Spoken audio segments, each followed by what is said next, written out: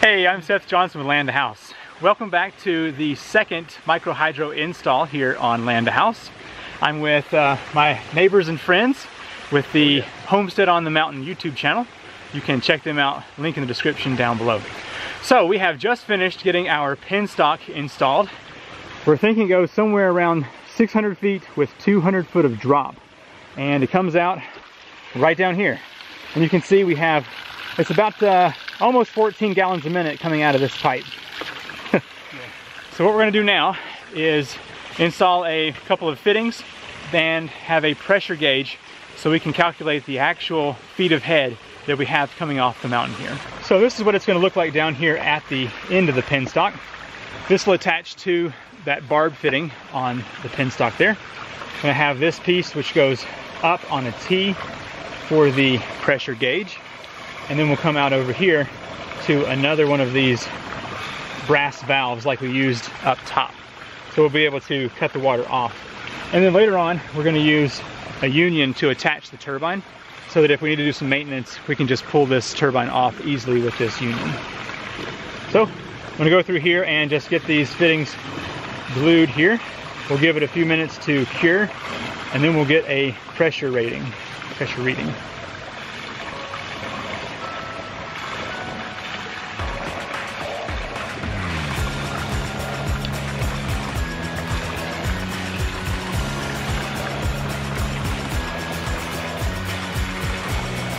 It's always amazing how fast this stuff works.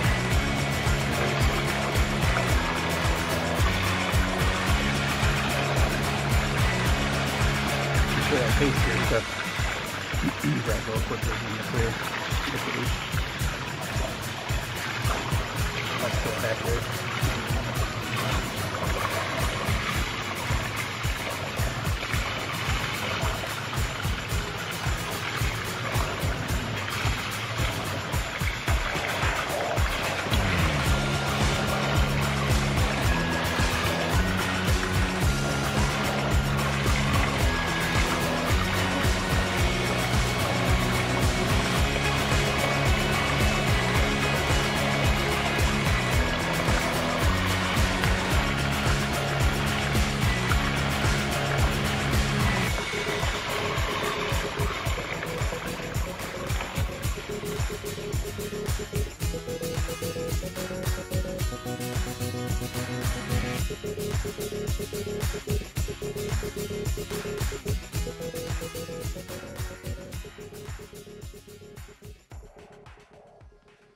We've let this sit for about an hour. It's probably not 100% cured, but should be good enough for this test here.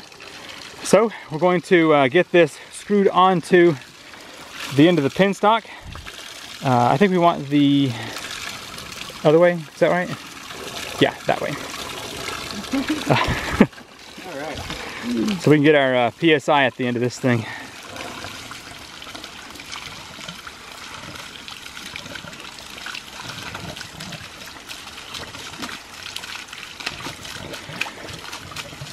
When we install the turbine, we're going to be making a little bridge basically that'll go from one side of the bank to the other.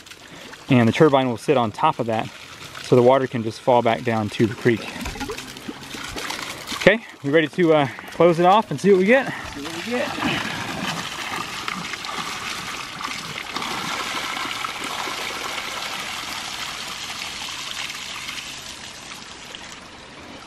So the pressure should be pretty much nothing here. And then we should see it climb up. Our goal is to see somewhere around 90 once all of the air has left the pipe. Is that about 10 already? Yep, 10, 15, almost to 20.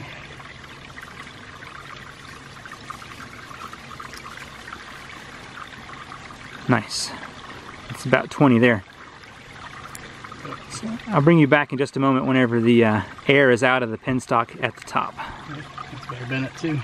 We've let this pipe sit for 15 to 20 minutes and let's see where we're at here. Uh, it's not focusing, 62 PSI. So at 62 PSI, that's the static pressure. So it will drop a little bit whenever we have the flow rate passing through here. But we may also have some air bubbles stuck somewhere up the creek. When those pass, we'll have a higher static pressure.